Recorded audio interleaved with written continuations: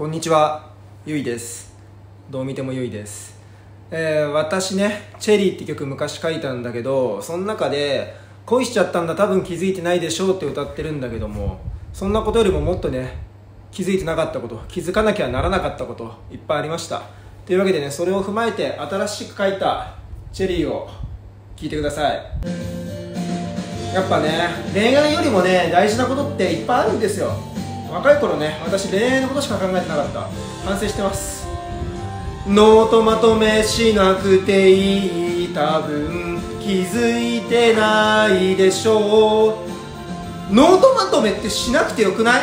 だってもともと教科書って出来上がってるものがあるからそこに線引けばいいのに時間の無駄なんだよこんなことしてる暇があったら1問でも多く練習問題解いた方がいい送りバント意味ない。多分気づいてないでしょう。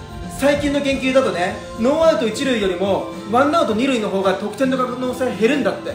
だからさ普通にヒッティングした方がいいんだよ。現にバントの数って減ってるしね今。年金払う意味ない多分。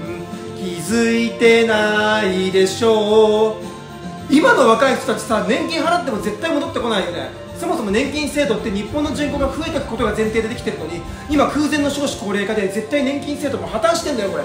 就活実は運ゲー多分。気づいてないでしょう。就活ってマッチングだから。あの何点取れればできる OK っていう入試と違って本当相性だから。たとえダメでも絶対いいところあるからくじけないで頑張ってほしい就活生。交通安全協会入らなくていい多分気づいてないでしょ。う免許取るとさなんか免許センターでおばさんが前に来て交通安全協会入れって言うけど入んなくていいからねこれ。なんか入んなきゃいけないもんかなって思って払っちゃう人いるけど絶対入んなくていいんだよこれ。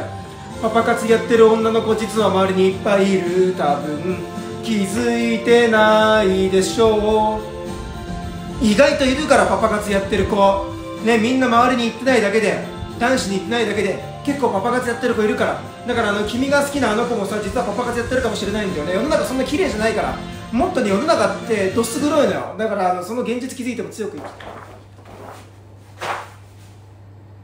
はい。ってなわけであのね気づかなきゃいけないことね。気づいてなかったこといっぱいありました。ね。もうこれがね大人になるということです。